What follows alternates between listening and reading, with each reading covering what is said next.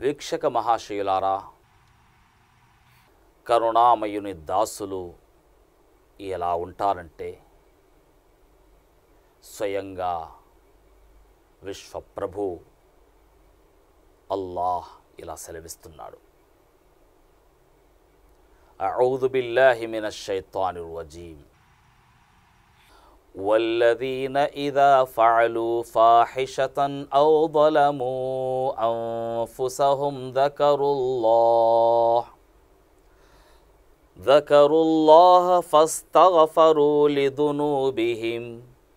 ومن يغفر الذنوب إلا الله ولم يصروا على ما فعلوا وهم يعلمون.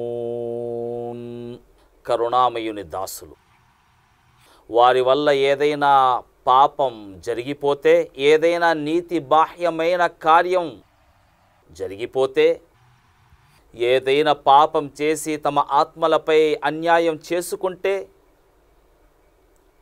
వెంటనే అల్లాహను తలుచుకొని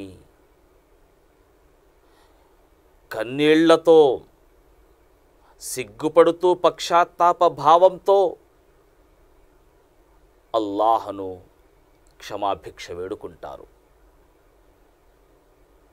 అల్లాహ్ తప్ప పాపులను రక్షించేవాడు క్షమించేవాడు ఇంకెవడున్నాడు? కరుణామయుని దాసులు జరిగిన పాపాలపై చేసిన తప్పులపై హఠం చెయ్యరు. దీన్ని బట్టి అర్థమయ్యేదేమిటంటే మనిషి వల్ల పాపం జరగడం సహజం. పాపం జరగవచ్చు. కానీ జరిగిన దానిపై జరిగిన పాపాలపై హఠం చేయడం ఇది కరుణామయుని దాసుల లక్షణం గుణం ఎంత మాత్రం కాదు. తప్పు ఆదం అలీస్లాం హౌ అలీస్లాం వల్ల కూడా జరిగింది. నేరం శైతాను కూడా చేశాడు. అయితే ఆదం అలీస్సలాతో సలాం హౌ అలీహిస్ అలీహిస్సలాం వల్ల తప్పు జరిగినప్పుడు ఇద్దరు కుమిలిపోయారు. సిగ్గుపడ్డారు. పశ్చాత్తాప భావంతో కన్నీళ్ళతో అల్లాహ్ను వేడుకున్నారు. రబ్బనా దలంనా అన్ఫుసనా వ ఇల్లం తగ్ఫిల్లనా వతరహంనా లనకూనన్న మినల్ ఖాసిరీన్ ఓ మా ప్రభు నీ ఆజ్ఞలను అతిక్రమించి మేము పాపానికి ఒడిగట్టాము. మా ఆత్మలపై అన్యాయం చేసుకున్నాము. ఓ మా ప్రభు నువ్వు మమ్మల్ని క్షమించకపోతే మాపై కరుణ చూపకపోతే మేము నష్టానికి గురవుతాము సర్వనాశనమవుతాము. ఈ విధంగా కుమిలిపోతూ పక్షాతాప భావంతో కన్నీళ్ళతో హజరత్ ఆదం హజరత్ హవ్వ అలీహిమస్సలాం అల్లాహ్ను వేడుకున్నప్పుడు అల్లాహ్ తప్పకుండా క్షమించేవాడు గనక వారిని క్షమించాడు.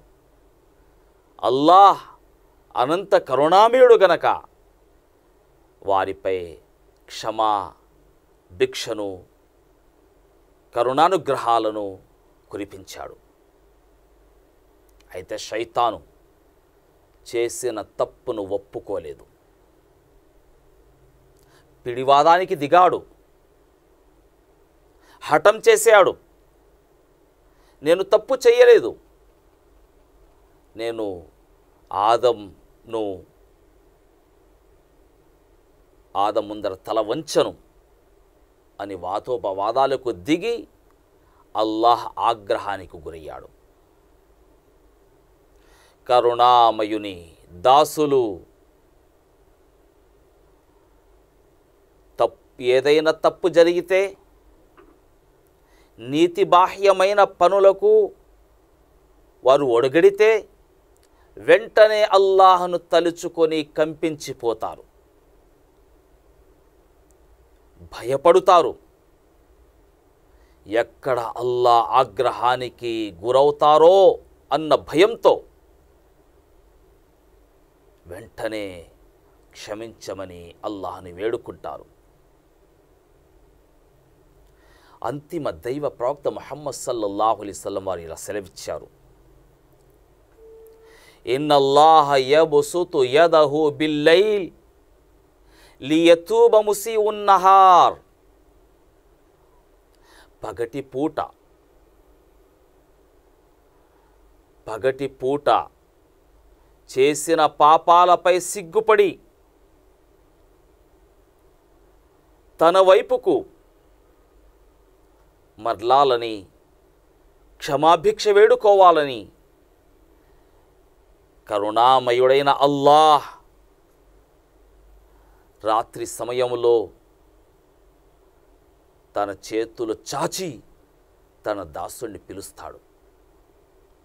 పగటి పూట పాపానికి ఒడిగట్టిన ఓ నా దాసుడా నేను నిన్ను క్షమిస్తాను. క్షమాభిక్ష వేడుకో. మారు మనస్సు పొందు. నీ నడవడికను మార్చుకో అని కారుణ్య ప్రభైన అల్లాహ్ పిలుస్తాడు. అలాగే ఎవరైనా రాత్రిపూట పాపాలు చేస్తే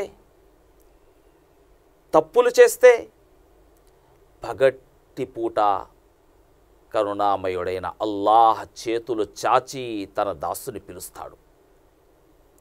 అర్ రహ్మాన్ అర్ రహీం అనంత కరుణామయుడు అపార కృపాశీలుడు అల్లాహ్.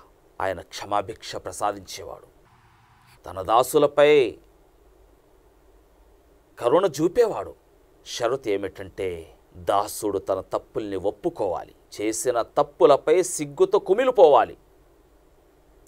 పశ్చాత్తాప భావంతో కన్నీళ్ళతో క్షమాభిక్ష వేడుకున్నప్పుడు అల్లా తప్పకుండా క్షమిస్తాడు. వమయ్యఫిరు దునూబ ఇల్లల్లాహ్. క్షమాభిక్ష ప్రసాదించేవాడు అల్లాహ్ మాత్రమే.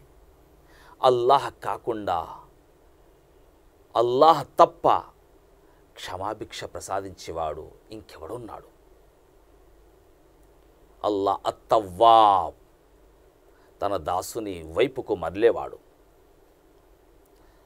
ఆయన అల్ గఫూర్ క్షమించేవాడు. కనుక కరుణామయుని దాసులు ఎల్లప్పుడూ అల్లాహ వైపుకే మరలుతారు. వారి వల్ల ఏదైనా పాపం జరిగితే వెంటనే అల్లాహను తలుచుకొని క్షమాభిక్ష వేడుకుంటారు. కారుణ్య ప్రభు అయిన అల్లాహ్ మనందరికీ పరిశుద్ధమైన జీవితం గడిపే సద్బుద్ధిని ప్రసాదించాలని ఆయన దాస్యంలోనే జీవించే మహాభాగ్యాన్ని అనుగ్రహించాలని మనసారా వేడుకుంటూ ఇంతటితో నా ప్రసంగాన్ని ముగిస్తున్నాను.